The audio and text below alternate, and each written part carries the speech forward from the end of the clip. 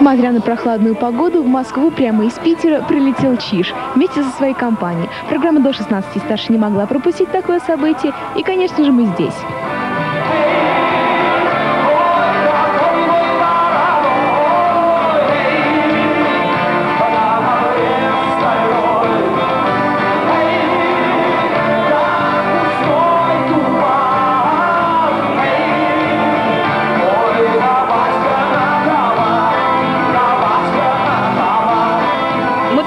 На концерте, мы вообще про них ничего толком не знаем, так вот случайно получилось, мы просто пришли, мы ничего не знаем.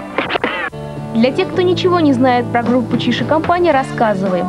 Сергей Чиграков, он же Чиш, автор и исполнитель всех песен, закончил музыкальное училище и Ленинградский институт культуры. Михаил Владимиров, соло-гитара. Музыкальную карьеру начал со школьного ансамбля. С 83 -го года учился в Музыкальном университете народного творчества. Алексей Романюк, бас. Музыкой занялся еще в юности. Играл в нескольких группах питерского рок-клуба. Аккордеонист Евгений Баринов. Родился в городе Павлово-на-Оке. После окончания школы поступил в Дзержинское музыкальное училище. Игорь Федоров, ударные, появился в группе совсем недавно, заменив Владимира Хатурина. Как музыкальная группа, Чиша компания образовалась в 93 году, но объединила ребят мореходное училище имени Макарова. У тебя какая профессия, по идее? Радист, лодочник, моторист. И судовой электрик. Судовой электрик? Да. Ага, но тем не менее вас всех объединила музыка, да? Да, все началось с песни «Море-море». Да. Антонова Юрия, да.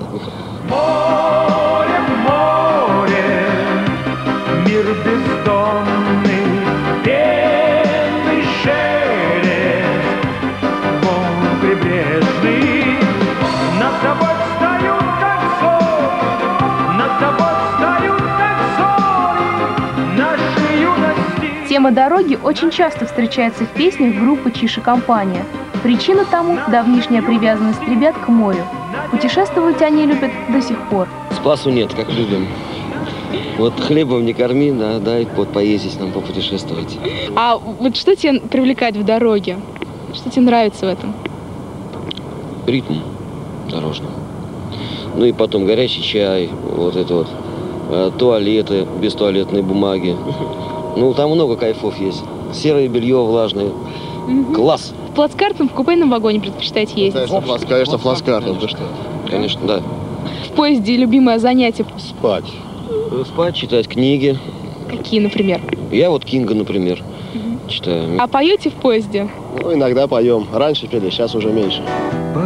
Продолжение разговора с ребятами из группы Чиши компания, а также новый клип «Еду-еду» смотрите чуть позже в нашей программе.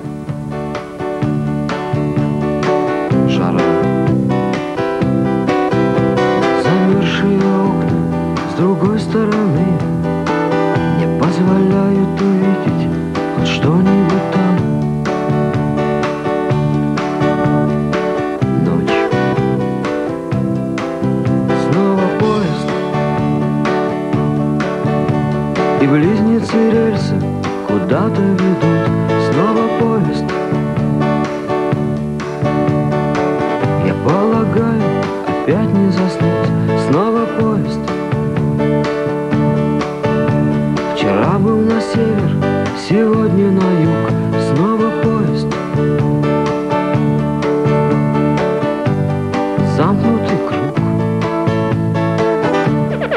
пошли на концерт Чижа, одев длинные юбки, там нацепив на голову фенечки. Там была, значит, песня «Хучи Кучи Мэн», достаточно известная тем, кто любит эту группу. Там песня, которая там говорит «Сегодня точно напьюсь». И мне очень запомнилось то, что э, Сергей Чиграков после концерта сказал, ребята, вы не думайте, что если я пою, что надо пить, давайте пить, давайте колоться, что это правда. И вот он как бы твердо разделил творчество и твердо разделил то, что как бы он в жизни. Вот тогда мне это запомнилось. С утра есть иллюзия, что все не так уж плохо Побывав на концерте группы Чиши компании, я решила узнать, насколько хорошо фанаты знают своих кумиров. Обезбашенность Ну, башня у нас, посмотрите, у всех есть пока что еще, слава богу. Иногда срывает. Иногда срывает, с этим трудно спорить. Весьма приличный семьянин э, внутри как бы своего дома. Но, э, скажем, вовне он ведет себя так, как ему хочется. Хороший семьянин. Ну, если до семьи доехать, то хороший. Ну, только вот в море только тянет, а так нормально. Так? Да, да, да, так и есть. Мишка правильно говорит.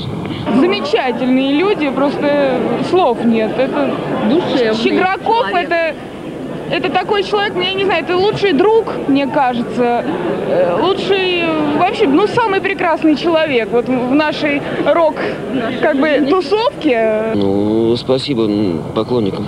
Большое спасибо. Наверное, так.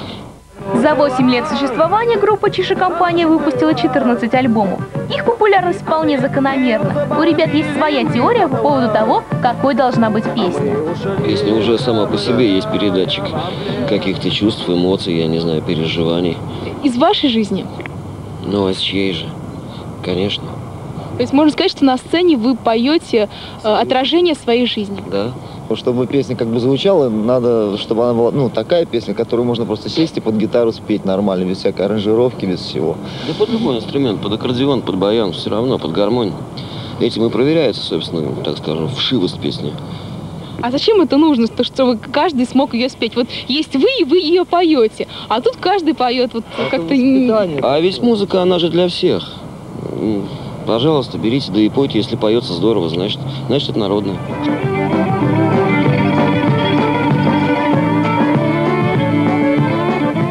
Вам не обидно то, что, может быть, как, э, может быть, очень часто поют песни и даже не знают то, что действительно это, э, это вы, ее авторы, ее исполнители. Вот поэтому они и народные. Потому что даже не обязательно знать автора и исполнителя, чтобы ее просто взять и спеть в компании. Нам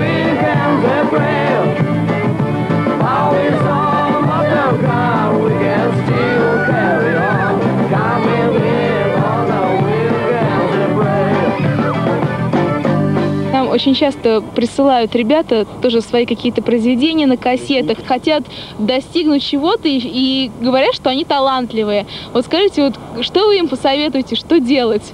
Чтобы что-то делать, сначала надо этому научиться. Я бы не стал кричать о том, что я талантлив. Ну да, для начала. Ходишь и говоришь, я Нет, ну, а если талантлив. ты и кричишь, то ты должен это Да, ты подтвердить. должен, да, подтверждать, вот и все, работать. Ребята исполняют песни, близкие людям, но за кажущейся простотой слов и музыки стоит серьезное музыкальное образование и напряженная работа. А сейчас вы можете впервые увидеть новый клип группы Чиша Компания «Еду-еду». Еду, еду, еду, еду я Реки, степи, горы и поля Дай мне на дорогу Чтобы сочинить еще куплет. Еду, еду, еду, еду я Реки, степи, горы и поля. Шар воздушный мне укажет путь. Я к тебе приду когда-нибудь